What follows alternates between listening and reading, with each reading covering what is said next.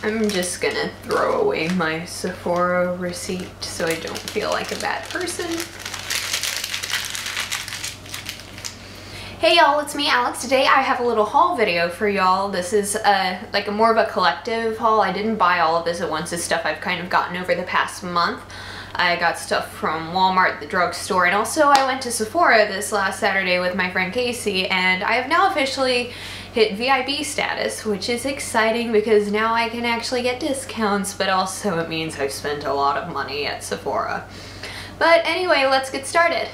I'm gonna start with the drugstore stuff. I got this from Walmart. I needed to get more of my Not Your Mother's Beach Babe hairspray. I am so happy I have this again because my hair is getting long and if it's long, it needs to have like some sort of texture so it isn't just one mass of blonde.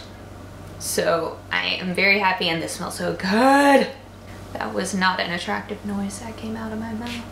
Another thing I got from Walmart was this Yes to Carrots Nourishing Daily Moisture Body Lotion. I got it, it's on, it was on sales for $7 just because the packaging doesn't look good. It feels really good on my skin. It smells like carrots. Like, I don't know why I wasn't expecting that because it is Yes to Carrots, but it smells more like carrots than I thought it would. It's very light and moisturizing though, and I quite like it. Uh, this is one that I've tried and I will automatically tell you I do not like this. It is the Hard Candy Mechanical Gel Liner, the Stay in Line one in Midnight. Now, it's mechanical gel eyeliner, and I love mechanical eyeliners, and I love gel liners, so it's like, great! And it was just like, it's a blue eyeliner, so, you know, I that means I'm trying new things. But, look at this. There is the pigmentation is not nice and I tried to put it on my eyes when I got back and I felt like I had to stab myself in the eye in order to get it to work and I'm a really big fan of not stabbing myself in the eye trying to put on makeup. So I'm gonna keep searching for a nice blue eyeliner. I'm thinking I might get one of the Kat Von D ink liners since I already like her black one. But the search continues. I also got this Milani um, eyebrow.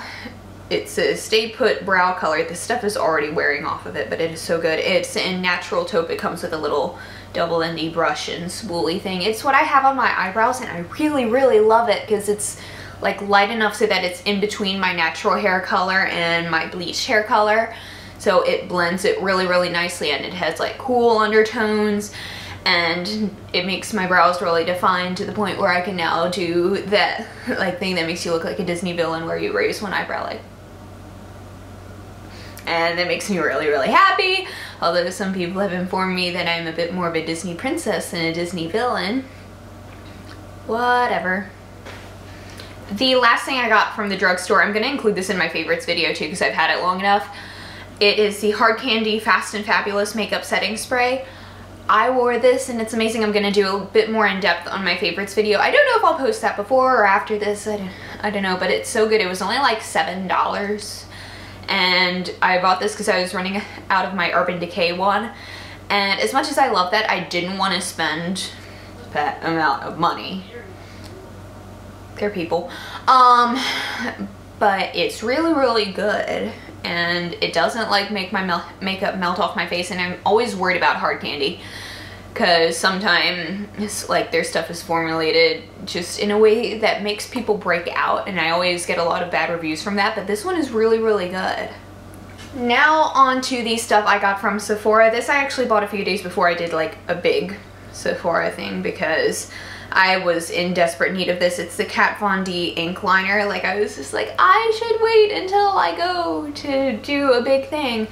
But I was just, but I was just sitting there doing my eyeliner that morning and I was just like, it's drying out and it's so depressing. But I got this in the shade Trooper. Um, Y'all have seen this in like a million and a half of my videos, even though I don't have that many videos.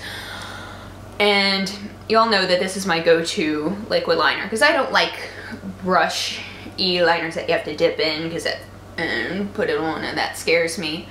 Um, and this is what I have as my liner today and I'm so happy to have it back. The Sephora lady went through a lot of trouble to find this one for me so thank you. The next thing I got, which I'm probably the most excited about this, is the Naked Smoky palette. Like, my mom and I were in Ulta on a couple weeks ago and I was looking and she and I were looking around and I was telling her that I really wanted to get one of the naked palettes but I didn't know which one to get because I'm not a neutral person and we were looking through all of them and she was like that one's too warm. That one's just meh. You wouldn't wear all those rose golds. And then I showed her this and I was just like well look at the colors in this one and she's just like yes you must get that one.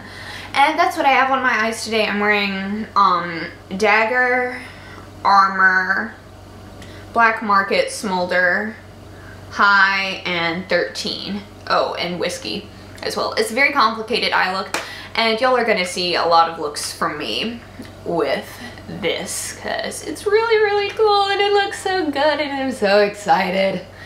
The next thing I got was also from Urban Decay. It's their Naked Skin. I'm also wearing this right now and it is so nice because it's actually like one of those really nice lightweight foundations but it gives me really good coverage. Like I have a lot of redness in this area and I only have to do like one layer of this to cover that up which has never happened with basically any other foundation I've ever tried. And I've only been wearing this for a couple days, so now I, so I'm not gonna be able to give y'all a full review yet, but expect that from me in the very near future because I wanna do this. Oh, oh, and it's in the shade 3.5. The last thing from Urban Decay that I got was their Revolution lipstick in F-Bomb. Um, Again, this was something that my mom kind of helped me find. Look how pretty that is. It is the perfect red. Um, but we were looking at lipsticks in Ulta as well, and I was showing her that I was thinking about this one, and she said that it would look good on me. My mom is very good at confirming whether or not something would look good on me. And it's kind of the shade that my Nana always wore, although hers was Revlon, so it's not cruelty free. And so I, I've been trying for a really long time to find a very similar shade to what my Nana always wore because I she had like that red lipstick all the time and I absolutely loved it. So, and I wore this yesterday to church and it is so nice and I love it. I love it. All right, two more things. The next thing is the Too Faced Better Than Sex Mascara. Um, I've tried their Size Queen mascara before, and a few of my friends, Allison and Rachel, who I'll link both of their channels to because they're both wonderful. Um, I was talking to both of them about like mascaras and how I really wanted to try some new ones because I've been stuck as if you've seen my videos, you know I've been stuck in my Physicians Formula Sexy Booster Cat Eyes thing. And so I've tried this, and I've been wearing this for the past couple days now. And this is so wonderful. Like, I love their Size Queen mascara just because I love the huge brush. And now I'm so happy that I decided to try this because it is just so nice and fluttery and perfect. Yee.